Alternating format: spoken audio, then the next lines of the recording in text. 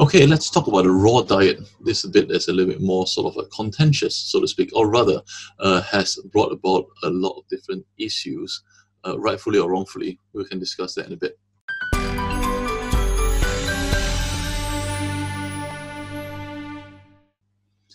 So there are a few different sort of raw diet out in the market. Okay, so there's raw meat-based diet, okay, the RMBD, whereby they're talking about uh, using sort of uh, different percentages. The BARF diet, the fairly well-known BARF diet. The prey model diet, whereby they are giving the entire carcass, okay, uh, because uh, in the wild they eat everything, uh, or the idea behind it is that the dogs, they eat everything. They don't just eat the muscle, or they don't just eat the bone, or they don't, they don't just eat the, the, the offal the uh, intestines and things like that. Uh, in Chinese, we call them the spare parts. But hey, there you go. So, uh, three different sort of uh, models out there. Fundamentally, it is all very, very similar in the way it is prepared before it is sold.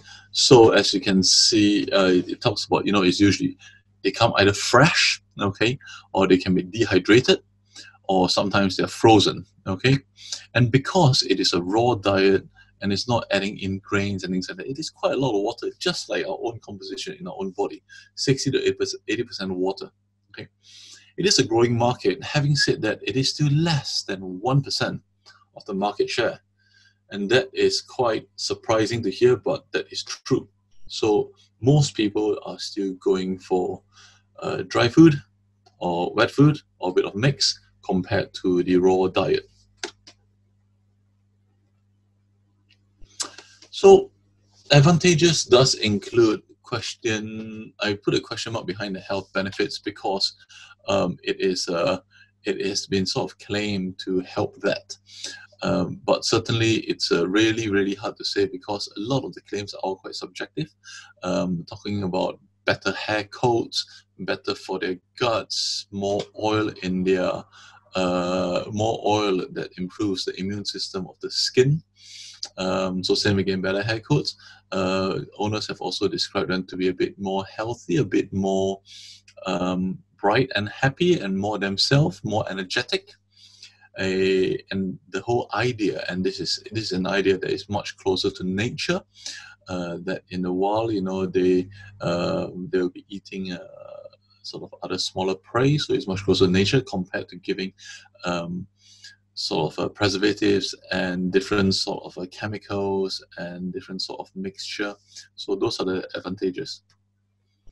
So the disadvantages is talking about increased care of uh, handling and potential infectious organisms and potential zoonosis. We will uh, discuss that in a bit.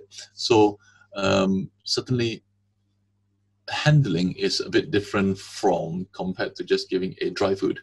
Dry food, you know, you just you're, you're just talking about kibble and just pouring it. Uh, some people they live in the bag. Some people they all pour into the whole big jug to be dispensed slowly over time. And certainly there isn't any sort of uh, additional um, focus or consideration when we're handling the food. Um, potential infectious organisms we're discussing about things like uh, salmonella, campylobacter that can potentially cause uh, issues because if the raw food is not uh, sort of um, if the diet is not a well prepared or well kept and well maintained. And when I say prepared, I'm talking about preparation from the factory or from the uh, the wholesaler to yourself. And uh, after that, uh, maintenance of keeping. Are you keeping in the fridge or the freezer?